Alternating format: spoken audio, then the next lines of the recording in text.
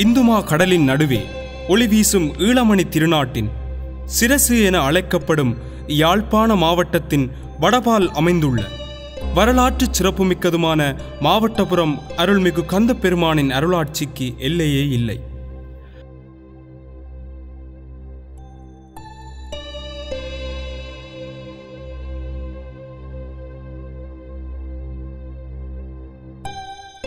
மாவட்டபுரம் என்னும் ஊரில் வளமுடன் வாழ்ந்து வந்த அம்பலவாணருக்கும் அவர்தம் துணைவியாரான சின்னாச்சி அம்மையாருக்கும் ஆயிரத்தி எண்ணூற்றி எழுபத்தி ரெண்டாம் ஆண்டு வைகாசி மாதம் பதினெட்டாம் நாள் புதன்கிழமை அவிட்ட நட்சத்திரம் கடைக்கூறு நாலாம் பாதத்தில் பிறந்த தமது மகனுக்கு சதாசிவம் என்னும் இயற்பெயருடன் பெற்றோர்கள் கண்ணும் கருத்துமாக வளர்த்து வந்தார்கள்.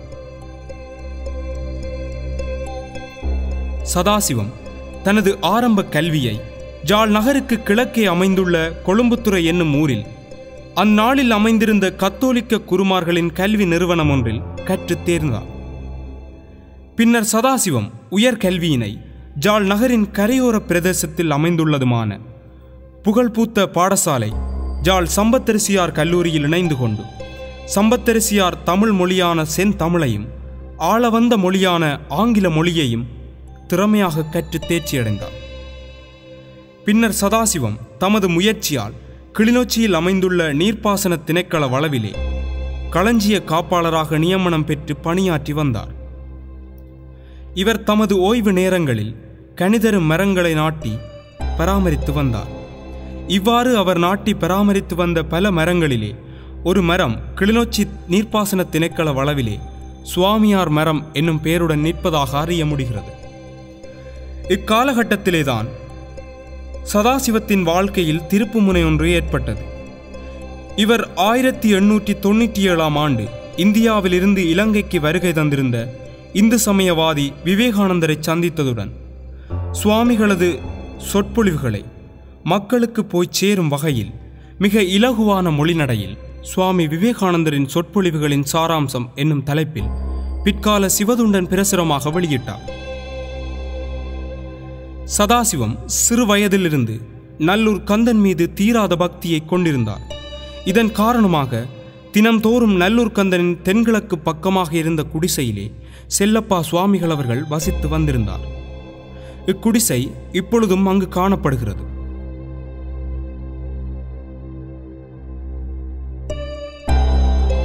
செல்லப்பா சுவாமிகள் நல்லூரில் சஞ்சரித்த வேளையிலும் அவருடைய அடியவர்கள் வசித்து வந்த கொழும்புத்துறை திருநெல்வேலி கைதடி முதலான இடங்களுக்கு அடிக்கடி சென்று திரும்புவார். செல்லப்பா சுவாமிகள் அவர்கள் தம்முடைய அடியவர்கள் அன்புடன் அணுகவே சித்து வித்தைகளை நிகழ்த்துவார். இவர் பெரும் ஞானி என்பதை சிலரே அறிந்திருந்தனர். ஏதோ தம்முள் முணுமுணுத்துக் கொள்ளுவார். இத்தகைய ஞானியின் வெற்றியை சதாசிவம் என அழைக்கப்பட்ட ஜோக சுவாமிகள் ஆராய்ந்து அவர் பெரியார் என்பதை உணர்ந்தார்.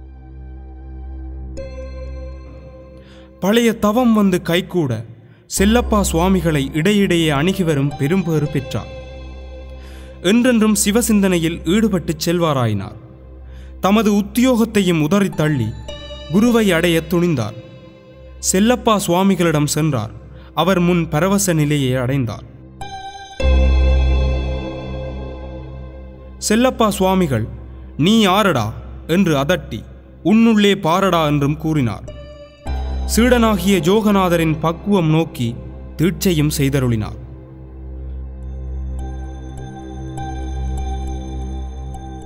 சுவாமிகள் ஆயிரத்தி தொள்ளாயிரத்தி பதினாறாம் ஆண்டு தமது குருவின் ஆணை வழி பந்தம் யாவும் நீங்க பெற்று துறவியாகிய கதிர்காமத்துக்கு நடந்து சென்றார். கதிர்காமம் சென்ற ஜோக சுவாமிகள் அங்குள்ள முருகனை போற்றி அருள் பெற்றார். இவர் பாத யாத்திரையாக பல இடங்களுக்கு சென்று பல அற்புதச் செயல்களை நிகழ்த்தியுள்ளார். பின்னர் ஜாழ் நகரின் கிழக்கே அமைந்துள்ள கொழும்புத்துறைக்கு சென்று அங்குள்ளதொரு இருப்பை மரத்தடியில் சிறிது காலம் மௌன சுகத்தில் திளைத்தார். சுவாமிகள் அந்த இழுப்பை மரத்தடியில் கடும் தியானத்தில் இருந்தார். இவ்விருட்சத்தின் அயலில் திரு நன்னியார் என்பவர் கடை வைத்திருந்தார். சில காலம் சென்றபின் திரு நன்னியார் கடையை விட்டு விலகிச் செல்லவும் அது வெற்றிடமாயிற்று. அக்கடையில் இருந்த குடிசையில் ஜோகநாதர் சுவாமிகள் சென்று தங்கி தவத்திலே அமர்ந்தார். அன்று தொட்டு அக்குடிசைகள் அன்பர்கள் பக்தியோடு வந்து தொழ ஆச்சிரமத்தில் அமைதி ஒளி நிறவ பெற்றது. ஜோக சுவாமிகள் அவர்களுக்கு நல்லாசி நல்கி ஆவண உணர்ந்து கருணை பாலித்தும் கடிவதற்கு உரியவைகளைக் கடிந்தும் அருள் வழங்கி வந்தார். சுவாமிகளின் வாய்மொழி கேட்டு அறிஞர்கள் உயர்ந்தோள் தாழ்ந்தோர் ஆடவர் மகளிர் முதியோர் இளைஞர்கள் ஆகியோர் உட்பட அனைவரும் அங்கு சுவாமியை தரிசிக்க வந்தார்கள். அவர்தம் குறையறிந்து ஜோகர் சுவாமிகளும் அருள்பாலித்து வந்தார்.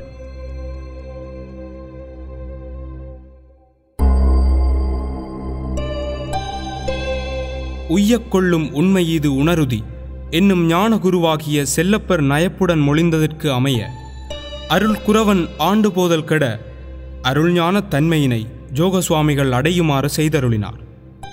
ஜோக சுவாமிகள் குருவின் பாதபங்கஜம் பணிந்து திருமரு குருவின் நிழலெனத் தொடர்ந்தார். தூய வெள்ளாடையே தரிப்பவராய் வேடங்களை விரும்பாதவராய் ஒரு குறிப்பறிந்து இடர்களை ஒழித்து மெய்ப்பொருளை ஒப்புவிப்பவராயினார்.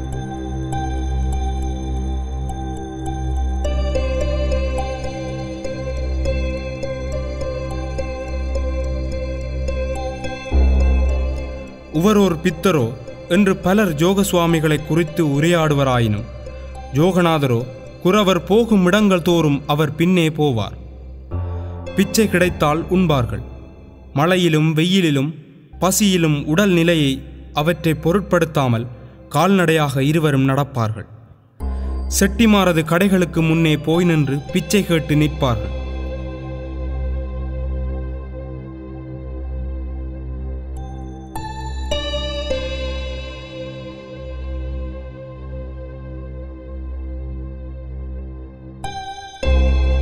ஏதேதோ எண்ணம் கொண்டவர்கள் போல் அங்கிருந்து கீரிமலைக்கு நடப்பார்கள். குளிரும் தீத்தம் ஆடாமலே ஆடிவிட்டோம் என்று நினைத்து கொண்டு திரும்புவார்கள். சுவாமிகள் சோதனையால் சலிப்படையவில்லை. எப்பொழுதும் தாயிலும் நல்ல தலைவனென ஏற்றுக்கொண்டார். குருவின் உபதேசத்தை அவதானமாக கேட்டு வந்தார். செல்லப்பா சுவாமிகள் சாதாரணமாக விசரன் போல பேசுவார். அப்பேச்சுக்களிடையே மாணிக்கங்கள் வருமென்று அவற்றுக்காக காத்து கொண்டு மணிக்கணக்காய் தவம் இருந்ததாகவும் யோக சுவாமிகள் பல இடங்களில் வர்ணித்துள்ளார்.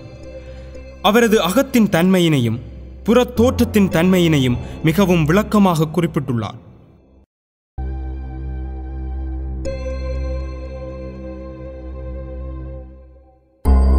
குருவை சிசியன் தேரடியில் சந்தித்த அத்தருணத்தை ஜோக சுவாமிகள் என்னை என கருவித்தான் எங்கள் குருநாதன் என்ற பாடலடியூடாக எடுத்து காட்டியுள்ளார்.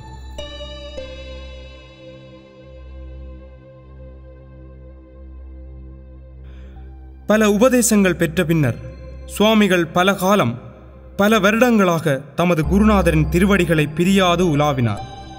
இருவரும் சேர்ந்து சமைத்த பின்பு சாப்பிட முன் சமைத்த வெற்றியெல்லாம் உடைத்து எறிந்தனர்.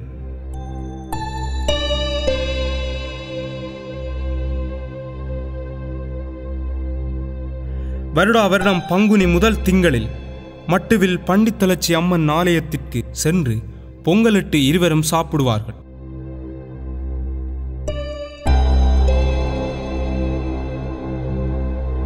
குருவின் சிறப்புகளை சுவாமியைப் போல் பாடியவர்கள் மிக குறைவு. இவ்வாறு இருந்த செல்லப்பா சுவாமிகள் ஆயிரத்தி தொள்ளாயிரத்தி பதினோராம் ஆண்டு சமாதி அடைந்தார்கள்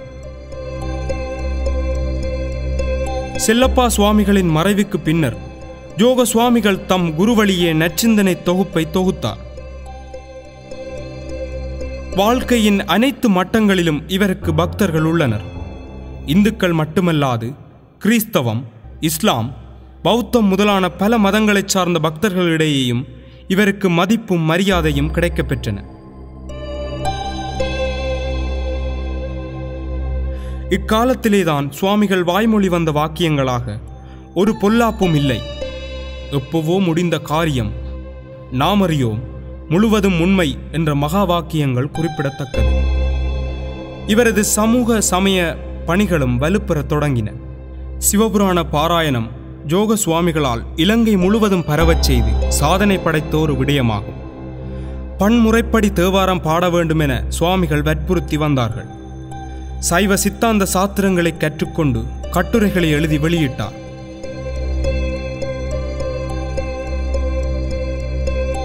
மகா சிவராத்திரி காலத்தில் கொழும்புத்துறை அருள்மிகு இளந்தகுளம் பிள்ளையார் புராண விற்பனர்களின் ஆலயத்தில் பல உதவியுடன் கந்தபுராண பாராயணம் நிகழ்த்தப்பட்டது. இதில் முக்கிய பங்கு எம் சுவாமியையே சாரும். பெரிய புராணத்தை கற்பதிலும் அதை பிறருக்கு எடுத்து கூறுவதிலும் இவருக்கு தனி ஈடுபாடு இருந்தது. இக்காலத்திலே மதுவிலக்கு பிரச்சாரங்கள் நடைபெற்றது. ஜோக சுவாமிகள் இதற்கு பூரண ஒத்துழைப்பு வழங்கியிருந்தார் என்பது குறிப்பிடத்தக்கது. விவசாய வாழ்க்கை முறையினை ஆதரித்து அதை மக்கள் மத்தியில் பரவிடச் செய்து வழிகாட்டியாக செயற்பட்ட பெருமை எம் சுவாமியையே சாரும் யோக சுவாமிகள் உணவு உட்கொள்ளும் முன் கால்முகம் கழுவி திருநீற்றை உத்தூளனமாக நெத்தியிலும் மேனியிலும் பூசிக்கொள்ளுவார். இதை அவர் தம் வழக்கமாகவும் பிறருக்கு நல்ல ஒரு முன்மாதிரியாகவும் கொண்டு செயற்பட்டு வந்தார். சுவாமிகள் எந்நேரமும் தாம் வாழ்ந்த குடிசையிலும் அதற்கு அருகே அமைந்துள்ள கொழும்புத்துறை இந்து மகா வித்தியாலயத்திலும் நன்னியர் கடை சந்தியிலும் தரிசிக்கலாம் என நேரில் கண்ட பலரும் கூறுவது இங்கு குறிப்பிடத்தக்கது.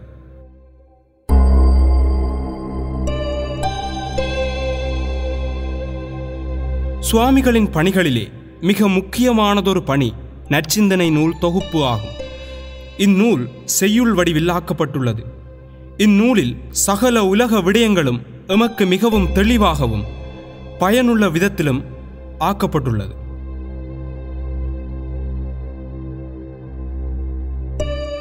நற்சிந்தனையில் பல இடங்களில் நல்லை கந்தனும் அவரது மகா குருவும் வந்து போவார்கள். இதில் அடங்கிய விடய தொகுப்புகள் இறைபக்தி குருபக்தி தரும நெறி மறைமொழி தொண்டர்கள் கடமை உன்னை அறியும் வழி முத்திக்கு வழி சிவனிந்தை வறுமை பிணிக்கு மருந்து ஆகியவற்றுடன் முப்பொருட்கள் மும்மலங்கள் என்று சொல்லிக்கொண்டே போகலாம். இப்படியாக பல வழிகளிலும் பல இடங்களிலும் சுவாமிகளது சமய சமூக பணிகள் விரிவாகவும் தெளிவாகவும் இடம்பெற்றன. சுவாமிகள் தமது பிற்கால வாழ்க்கையில் நல்ல குருநாதன் நம்மை வருத்துவது கொல்லவல்ல கொல்லவல்ல பொல்லா வினையை போக்குவதற்கே என்னும் மகா வாக்கியத்திற்கு அமைவாக சுவாமிகள் தங்கியிருந்த குடிலுக்கு அருகில் இருந்த மாட்டுக் கொட்டகையை சுத்தம் செய்யும் பொழுது காலிடறி விழுந்து தொடையெலும்பு முறிவடைந்து வைத்தியசாலையில் சத்திர சிகிச்சை செய்து கொண்டார்கள். இதற்கு பின்னர் அவரால் நடக்க முடியாமல் போக சக்கர நாட்காலியிலும் அவருடைய காரிலுமே இவரது வாழ்நாள் கடந்து சென்றது. சுவாமிகளை சக்கர நாட்காலியில் கண்டு தரிசித்தவர்கள் கூற இன்றும் நாம் பார்க்கின்றோம். இச்சம்பவம் ஆயிரத்தி தொள்ளாயிரத்தி அறுபத்தொராம் ஆண்டு பிப்ரவரி மாதம் இருபத்தொராம் திகதி இடம்பெற்றமை குறிப்பிடத்தக்கது.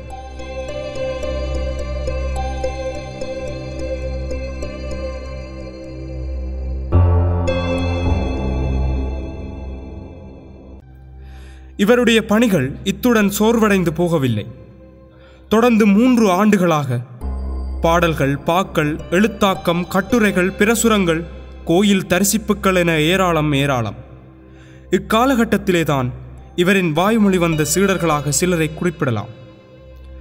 சோல்வரி பிரபுவின் மகனும் சந்த சுவாமி என்னும் தீட்சா நாமமும் பெற்றவருமான ராம்ஸ் போதம் என்பவர் இவரது சீடராவார்.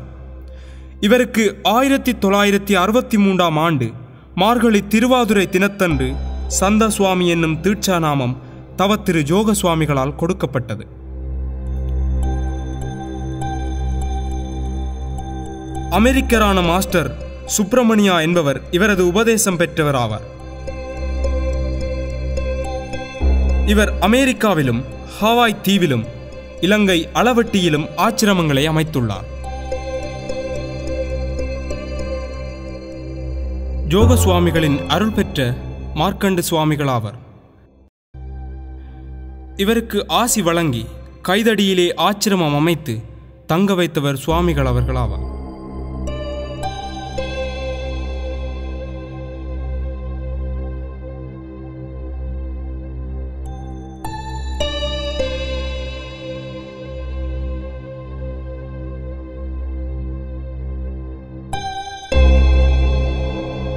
இப்படியாக இருந்த ஜோகு சுவாமிகள் சமாதி அடைவதற்கு நன்னாளை பார்த்திருந்தது போல அவர்களால் நெடுங்காலமாக நடாத்தி வந்த திருவடி பூஜை தினத்தன்று அதாவது பங்குனி மாதம் இரண்டாம் திங்களன்று இருபத்தி மூன்று நான்கு ஆயிரத்தி தொள்ளாயிரத்தி அறுபத்தி நாலு அதிகாலை மூன்று முப்பது மணியளவிலே ஆயிலிய நட்சத்திரத்தில் மகா சமாதி அடைந்தார்கள். யோக சுவாமிகள் உடலை விட்டு நீங்கும் பொழுது அவருக்கு அகவை தொண்ணூறை தாண்டியிருந்தது. இவர் இறந்த செய்தியை வானொலி மூலம் ஈழநாடு முழுவதும் தெரிவிக்கப்பட்டது. இருபத்தி நாலு மூன்று ஆயிரத்தி தொள்ளாயிரத்தி அறுபத்தி நாலாம் ஆண்டு பல்லாயிரக்கணக்கான அடியவர்கள் புடைசூழ கொழும்புத்துறையில் காலை ஐந்து மணியளவில் பூத உடலுக்கு அபிஷேகம் நடைபெற்று சதுர வடிவிலான பூந்தொட்டிலிலே அவரது பூத உடலை மக்கள் பக்தர்கள் தொண்டர்கள் வித்தியாசாலை மாணவ மாணவிகள் வழி நெடுங்கிலும் பூரண கும்பம் வாழை தோரணங்கள் மலர் மாலைகள் பூக்கள் அலங்காரத்துடன் அடியவர்களால் சுமந்து சென்று துண்டி இந்து மயானத்தில் தகனம் செய்யப்பட்டது.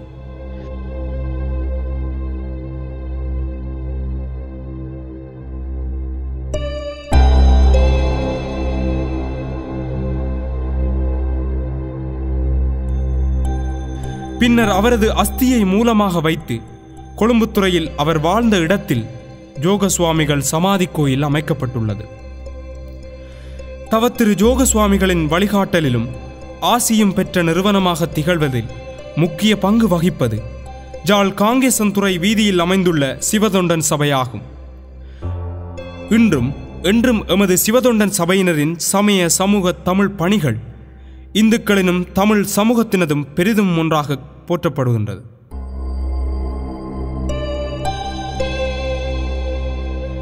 எமது சுவாமிகள் சம்பந்தமான நூல்கள் சுவாமிகளின் நச்சிந்தனை பாடல்கள் அடங்கிய இருவட்டுக்கள்.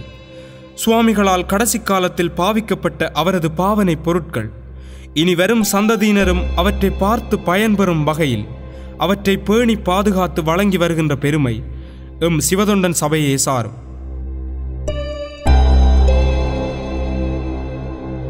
அது மட்டுமல்லாது ஒவ்வொரு ஆயிலிய நட்சத்திரம் தோறும் அன்னதானங்கள் பஜனை பாடல்கள் சிறுவர் இல்லங்களில் நிகழ்வுகளை நிகழ்த்தி யோக சுவாமிகளை எம்மிடையே நினைவில் நிறுத்தி வருகின்றமையும் குறிப்பிடத்தக்கது.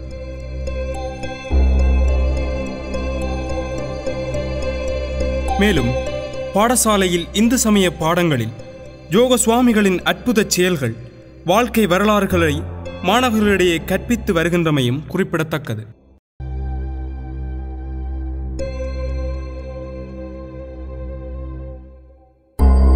எம் சுவாமியார் பற்றி அறிய விரும்பின். அவர் வாய்மொழி வந்த நற்சிந்தனை பாடலொன்றே அதற்கு தக்கதொரு சான்றாக அமைய முடியும் என்பது குறிப்பிடத்தக்க விடயமாகும்.